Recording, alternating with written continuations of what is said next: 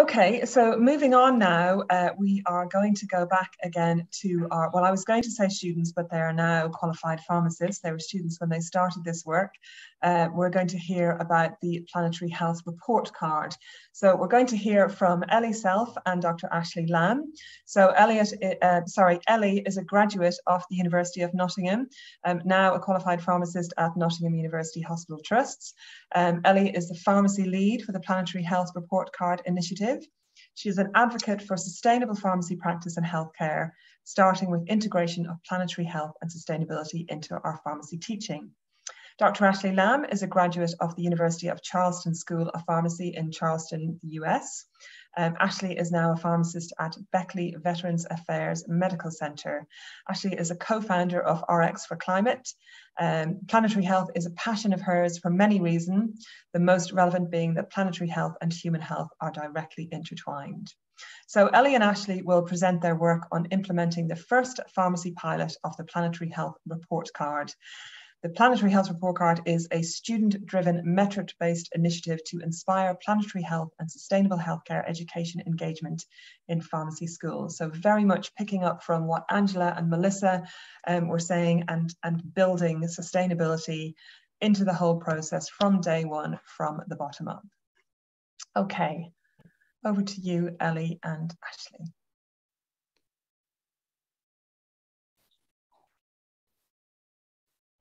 Hi, good afternoon, everyone. Thank you so much for attending the Pharmacy Planetary Health Report Card session. Like, uh, like we talked about before, my name is Ashley. I'm based in the US, if you couldn't tell from my accent, and I'm a pharmacy resident at the Beckley Veterans Affairs Medical Center in Beckley, West Virginia. Um, and I'm Ellie, so I'm a newly qualified pharmacist uh, working at Nottingham University Hospitals. And we're here today to talk to you about the PHRC for pharmacy, this is a student led initiative aimed at encouraging the inclusion of planetary health and sustainability in pharmacy school curricula and throughout the wider school institution. It was developed in medical schools, and alongside an amazing team, we led the adaptation of the initiative to pharmacy with an international pilot that was launched on Earth Day, which was the 22nd of April earlier this year. So, what is planetary health? I'm sure everyone here is familiar with the term as we've all elected to join this wonderful conference. But just to make sure we're all on the same page, planetary health is described by the Planetary Health Alliance as a solutions oriented, transdisciplinary field and social movement focused on analyzing and addressing the impacts of human disruptions to Earth's natural systems on human health and all life on Earth. So, this is a broad definition, but it is intended to encompass the multitude of ways in which the environment can affect health. The keyword there is, of course, health. And as healthcare professionals, we all know that it's imperative that we are aware of and act to improve upon health in all of its multifaceted determinants. So I'm sure we can all agree that our planet is in climate and ecological crisis. Increasing global temperatures are already causing extreme weather events like heat waves, droughts, and floods, as well as acute food and water scarcity, particularly in Africa, Asia, Central and South America, on small islands, and in the Arctic. Impacts of extreme weather and food and water scarcity impact health globally. So, I would like to take a second here just to note that this is a crisis which disproportionately affects vulnerable populations so these are inherently issues of equity and justice as well. Given all of this, it's unsurprising that the World Health Organization has called climate change the single biggest health threat facing humanity. In July 2021, the concentration of carbon dioxide in our atmosphere was the highest it has been in human history. Linking that to health, greenhouse gas emissions contribute to more than 25% of global deaths from heart attacks, strokes, lung cancer, and chronic respiratory disease. Also, air pollution causes 7 million deaths per year, all while meter dose inhalers contribute 500 grams of CO2 per dose. In England, medicines account for a staggering 25% of NHS emissions, and in the US, prescription drugs account for 10% of the greenhouse gas, gases emitted by the US healthcare system at large. In April, the UN Environment Program stated that antimicrobials present in our water could increase the incidence of drug resistant pathogens and potentially fuel another global pandemic. Therefore, although inhalers and antibiotics, just two examples, are both vital to improving our patients' outcomes, they also have a direct and detrimental impact from pharmacy on our patients. It's kind of a cyclical relationship. Like the environment affects patients' health, but then the way that we take care of patients' health also has an impact on the environment. So, this contradiction in patient care and the com- contribution from healthcare to the climate crisis must be addressed in our teaching and in our professional practice, which must be altered accordingly. However, until recently, this wasn't and often still isn't the case. Therefore, this omission, omission in patient care has sparked the beginning of the Planetary Health Report Card for Pharmacy. Um, so, as mentioned, uh, it was an initiative that was started in medicine. Um, so, before I describe the adaptation of the report card from medicine to pharmacy, uh, we thought we'd introduce some of the students involved in the PHRC for Pharmacy pilot, explaining what planetary health means to them.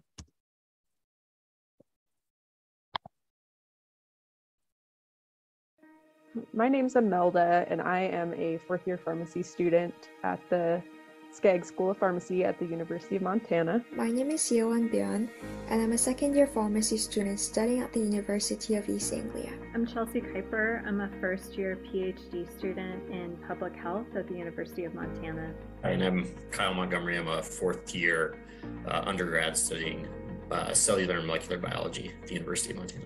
Um, to me, planetary health means um, inclusivity and diversity within um, sustainable environment. Um, this crucial field is more than just environment, it's about people living in it. So, from empowering um, those marginalized communities affected by um, climate threats to increasing um, sustainability in pharmacy practice, um, I was able to learn how closely related planetary health is to the um, health of humanity. So for me, planetary health really means the overall health of the planet that we inhabit, the Earth, um, and then how that relates to human health. Uh, they're uh, very closely intertwined, and um, really, planetary health is just going to be an important part of ensuring future health of, of the generations moving forward. Our physical health and well-being are are also tied to the health of the planet and vice versa. It wasn't until that I got involved in PHRC that I started to understand the importance of, of acknowledging the um, climate emergencies and the impact of rapidly changing environment on patients' health. The fact that it's a student-led project, and um, to me, I just think that anything that students initiate um, are the best for getting other students excited about things. Um, just thinking about what planetary health means. Um, to me, I think of it as almost like a homeostasis of the planet. So, um, like a total sense of well being, like if humans can live in a manner that is uh, ecologically responsible, ethical, and equitable um, and we can eventually have like a state of balance across the entire planet. Um, that would be the optimal state of planetary health.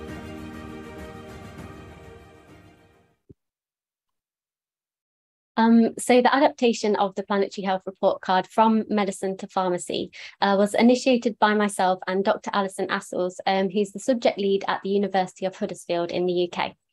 So Alison set up meetings with the founder of this initiative, uh, Carly Hampshire in America, and we began the conversation regarding adapting the initiative to pharmacy. So Alison and I began looking at the report card metrics. Um, we'll go into the metrics later, um, but basically they're quite similar to a questionnaire.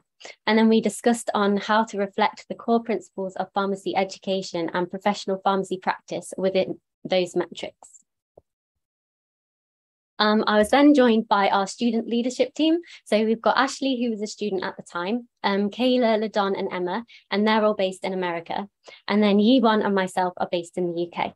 And then so together we reviewed and refined those metrics to ensure that they were relevant and applicable to pharmacy internationally.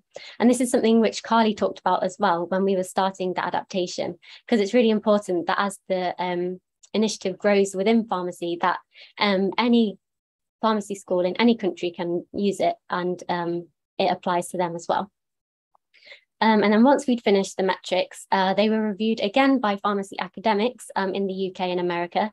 And then we shared this with students in pharmacy schools to begin the pilot, the pilot of the Planetary Health Report Card for Pharmacy. Uh, so on Earth Day, uh, the 22nd of April this year, we published a summary report from our pilot. And we're going to talk you through the report now. Um, so you can use the QR code or the website if you want to view it um, while we do that. So I'll just give you a moment.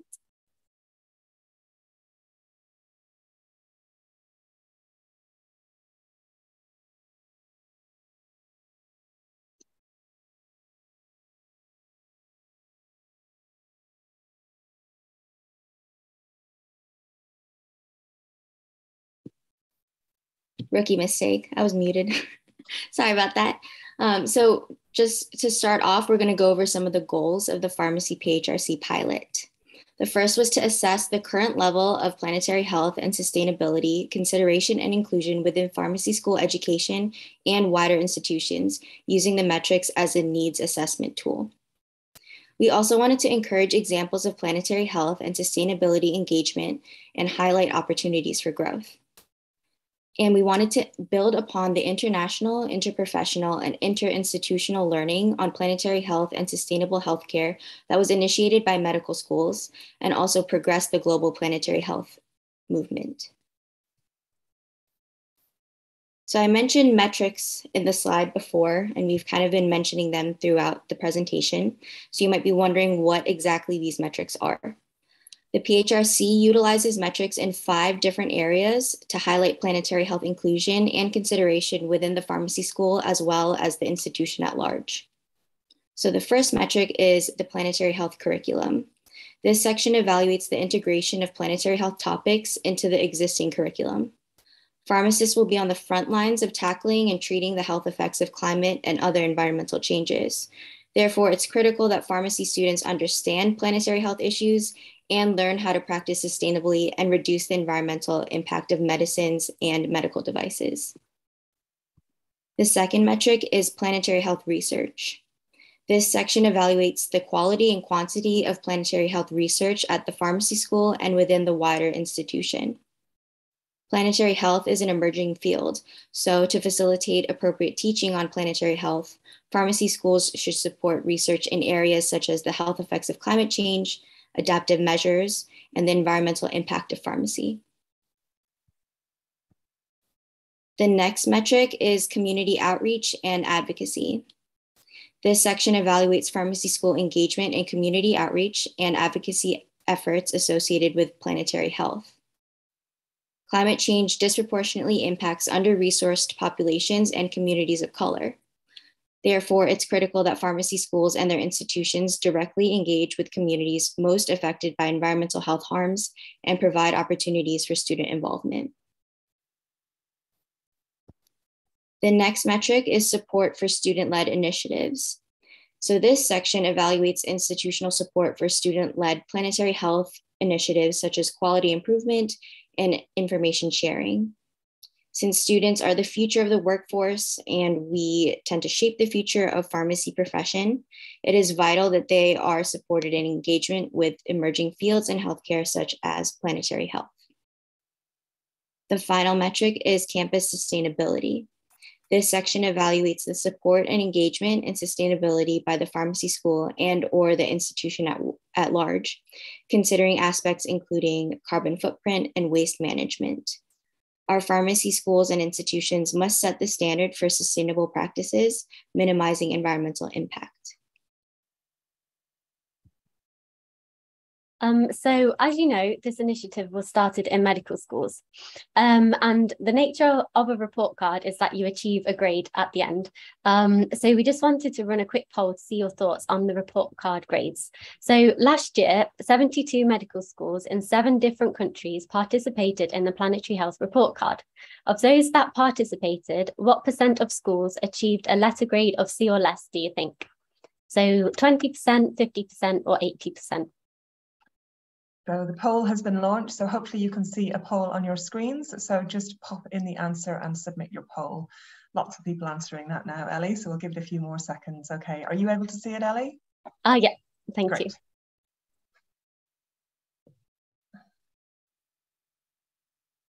So about 60% of people have answered. So we'll give it a few more seconds to get your answers in and then we'll see what people think.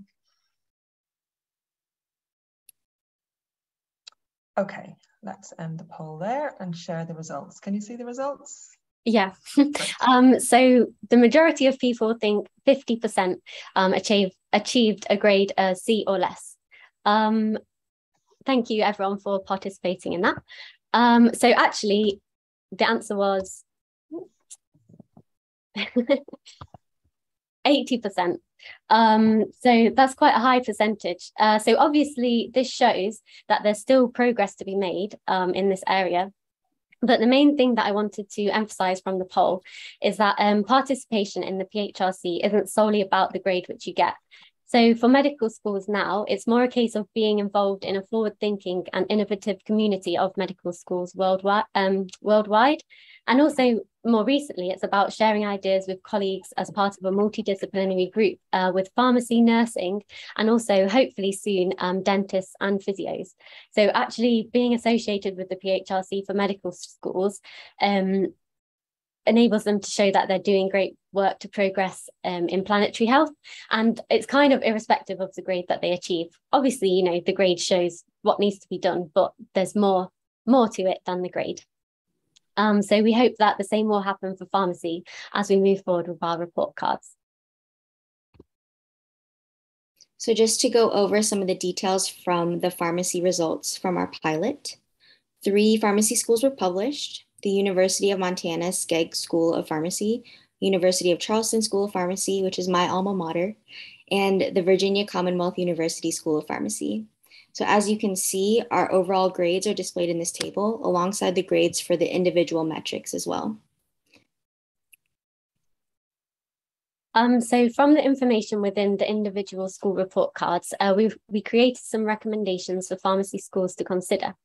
Um, and we did this by highlighting some of the great examples of work uh, which is already being done within the participating universities in America.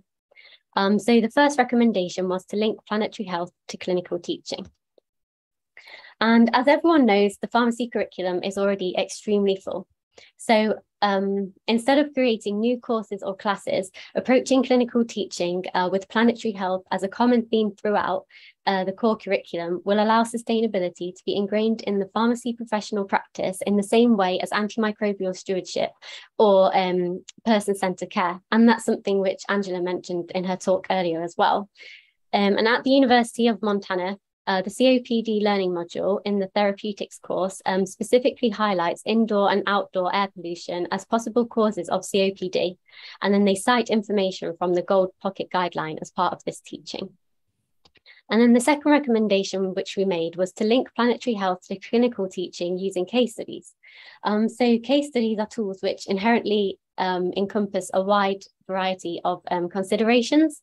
Um, and so this is a useful route to include planetary health considerations and then a way to facilitate learning on planetary health. And the University of Montana, um, they have a human health and climate change elective course, and that devotes one lecture to climate change and health communication, and then strategies for discussing the whys, whos, whats, whens, and hows of climate change are shared and then applied to a patient case. So the next recommendation is to include teaching on waste management in the curriculum. Understanding pharmaceutical waste management is vital to reducing the environmental damage caused by pharmacy manufacture, provision, and disposal of medications. Patient waste can include vials, devices, active metabolites or unchanged drugs, and more. Regulated medical waste and hazardous waste in the health system should also be discussed. And a good example of this is the pharmacy ethics lecture at the University of Montana, which discusses the environmental impact of the pharmaceutical life cycle. The next recommendation is to improve lab waste management and sustainability. Waste management should be considered in school labs where hazardous materials, energy usage, and single use plastics contribute to the negative impact that healthcare has on the environment. Waste management and sustainable labs are integral to sustainable pharmacy service provision and should be addressed in core curricula. Additionally, campuses should make efforts to make experiential labs more environmentally sustainable. For example, the University of Montana has a hazardous waste collection program. So, used lab chemicals that are safe to reuse are distributed to other labs. Universal wastes like batteries and fluorescent lamps are recycled, and departments are encouraged to purchase only the amount of chemicals necessary.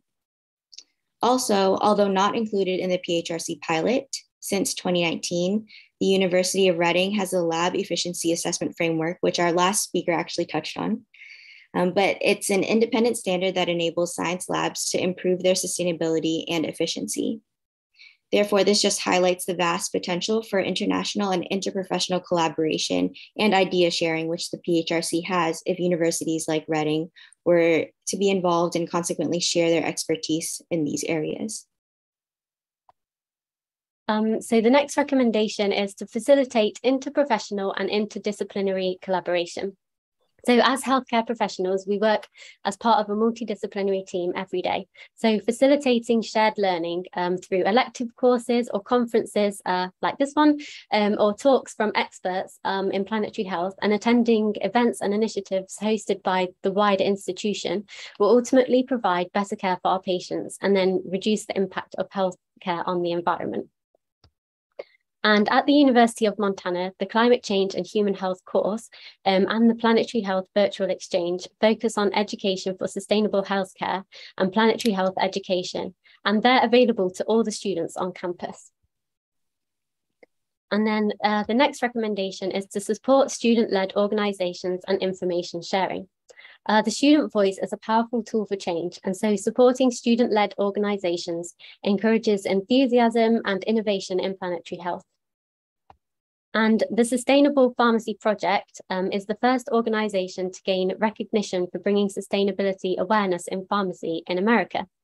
And it's a student created organization, actually created by two of our leadership team, um, LaDon and Kayla, and it was founded at Virginia Commonwealth University School of Pharmacy. So that's really exciting. The next recommendation is to include teaching on climate change and social inequality in the curriculum. Social inequality is inextricably linked to health inequality, and climate change exacerbates the existing burden of disease for vulnerable populations. So, teaching on the social and environmental determinants of health must be included in core curricula to provide the knowledge and tools with which to overcome these barriers for our patients. It's known that populations most affected by poor climate are also most vulnerable to health disparity. Therefore, treating the patient is our utmost duty, and that will require taking into consideration our patient's environment. An example of this inclusion is shown at the University of Charleston, where the relationship between climate change and social determinants of health is addressed in a lecture presented in the Strategies for Positive Health Outcomes core course. The next recommendation is to provide community outreach and advocacy opportunity. We, as healthcare professionals, are trusted members of our communities and well placed to advocate for our community's needs. Pharmacy students must have opportunities to work with local communities affected by climate change and to raise awareness as part of the pharmacy course, elective courses, or be able to access initiatives provided by the wider institution. The school's presence must be in symbiosis with its immediate community members. An awesome example of this is the Peas Farm, which is the University of Montana's campus and community farm, where students and interns across many programs of study grow produce for the community as well as the local food bank. And then our final two recommendations were to include teaching on disaster preparedness in the curriculum. So, as we all know, our planet is in crisis, and we as pharmacy professionals must be equipped to provide care to our patients in the face of extreme weather events and natural disasters resulting from climate change. So, therefore, it's imperative that we're made aware of such risks to global health and provided with the knowledge to adequately care for um, ourselves and our patients through these events. And we need to be taught that through uh, the core curriculum. So at the University of Montana, they have one lecture covering the concept of disaster ethics, and that highlights concepts such as resource stewardship and, res and rationing care. Um, it also has a public health lecture on pharmacy disaster preparedness, which illustrates the impact of Superstorm Sandy um, and the impact that that had on pharmacy operations. And then the final recommendation is to um, fund faculty in planetary health. Now, we're very aware that money doesn't grow on trees, but this is really important because providing teaching on planetary health and sustainability requires research to be carried out and underpin such knowledge. Um, pharmacy schools and wider institutions must provide support and funding for planetary health research, as well as um, faculty members who are experts in this area. Um, and there are two really great um, examples of faculty members such as these in our report card. Um, so there's Hayley Blackburn um, from the University of Montana and then Alice um, Garbauer at the University of Charleston. And they're both environmental pharmacy champions at their respective universities. And they've been working to incorporate planetary health topics into their school's curricula. But they do this um, as you know, many people here do, in addition to their primary teaching, mentoring, committee, and clinical practice responsibilities. So as with everything, there were some limitations that we experienced during our pilot. The biggest one was probably limited representation of schools. So there were initially 10 pharmacy schools who expressed interest in the PHRC for pharmacy, but in order to publish the report card on Earth Day, there were some short deadlines um, required to complete the metrics. Understandably, there were a couple of schools who could not meet those deadlines. And also, other schools completed the metrics, but then experienced resistance from their pharmacy school administrations, meaning that unfortunately they were not able to publish. This was probably due to a lack of awareness from faculty about the initiative, as well as fear of bad press.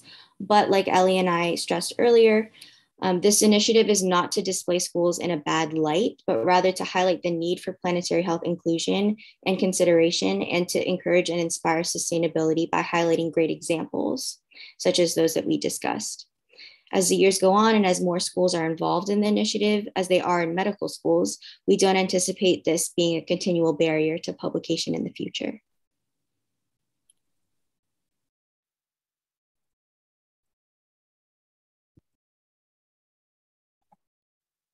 Um, so where next? we have big plans for the future. Um, following our pilot, we believe we have built the foundations to enable us to roll the Planetary Health Report Card for pharmacy um, out on a large scale. So we aim to enhance our global presence um, through involving universities around the world this year. And we've already got a lot more universities signed up to participate this year, which is great. Uh, there's actually an orientation happening this afternoon um, with colleagues from medicine and nursing. So that will be a really exciting multidisciplinary event. Um, we've been working on clarifying uh, the metric examples, um, and then that will mitigate discrepancies in metric interpretation. Uh, so we've now provided pharmacy-specific examples to support the metrics and help with filling them in, uh, which we weren't able to do before the pilot. Um, and as Ashley mentioned, there was some resistance to publication. So we'd like to increase involvement of um, faculty with an interest in this area to support students um, with their report card. Um, so just a bit of an advert now. Um, if anyone is interested and wants to get involved, um, please reach out to our um, email address or you can get in touch via the website. As I said, there's an orientation happening this afternoon, um, but you haven't missed it. It's not too late. Um, you can still join um, and we can share the resources from that orientation. Um, and so we just wanted to finish our talk by saying that obviously the climate crisis is undoubtedly scary, uh, but there is hope. So in her introduction, um, Nuala described the amount of progress which has been made in the past year um, since the first Pharmacy Declares conference. And the Planetary Health Report Card is facilitating multidisciplinary collaboration between medical schools, pharmacy and nursing, and then hopefully physio and dentists as well. And that's um, people all around the world. And in medical schools, the response from institutions is one of the biggest impacts of the report card, which is what we hope for. So universities have set up sustainability working groups in medical schools as a direct result of the Planetary Health Report Card. So it's unsurprising that 78% of medical schools improved their grade um, from the previous year. And it just shows how much can be achieved um, when we work together. So, um, any questions? Wow, Ellie and Ashley, that was amazing. Thank you so much. Um, I'm just going to echo what some people are saying in the comments and that you're doing such inspirational work. And can I just say, you guys have done this alongside your pharmacy degree, so that is amazing. well done. Um, a few really quick questions because we're nearly out of time. So Nicola's asking the orientation that you're talking about happening later today, um, is that going to be recorded and made available so that we can play it to prospective student champions? Any ideas? Yeah. so will that be available on the PHRC website? Um, not sure actually. Um, okay. But if anyone wants it, then you could email and we can share it from there. I, I imagine it will, but not 100%. Okay, so maybe if you just, I know you just had the email on your slide, but if you maybe just pop that in the chat box afterwards, Ellie, just so people can access it again, that would be great. Jennifer's asking if your international outreach includes non-English language speaking universities. Um, right now, we are working on recruiting um, to any country, um, any language.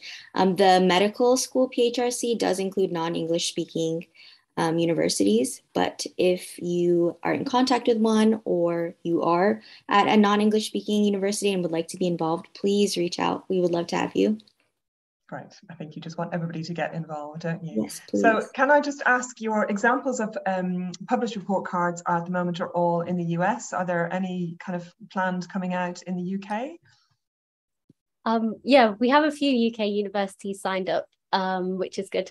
And hopefully more um, will be signing up. Yeah, right. we've just got America and the UK at the moment. okay. So all of the audience out there, if you're um, pharmacy undergraduates, get in touch with Ellie and Ashley, get your universities involved. It's obviously a fantastic comprehensive tool for looking at the whole bigger picture around sustainability. So I think, I think it's, I think it's just brilliant work. Okay, thank you very much. Okay, so um, time for another um, short break. Uh, we're just going to have a quick 10 minute break before we move on to our final session. So it's 12.30 now. Uh, we will come back at 12.40. Thank you.